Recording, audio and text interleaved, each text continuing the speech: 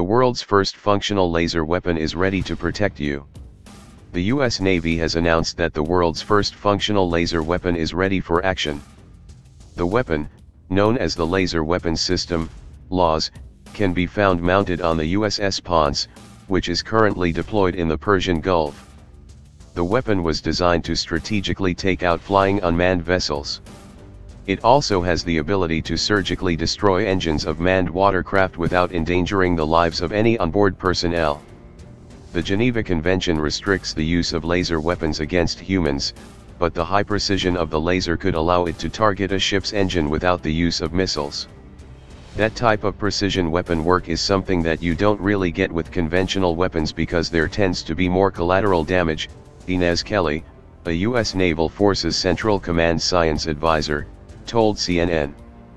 This technology could be the beginning of replacing missiles for the purpose of destroying enemy targets. On top of sparing lives, the cost comparison of a single shot from LAWS and a missile is astounding, while missiles can cost up to millions of dollars, a single LAWS round only costs about $1. The weapon is currently only approved for drones and water vessels, but the Navy is also testing other applications under the cover of classified status, of course.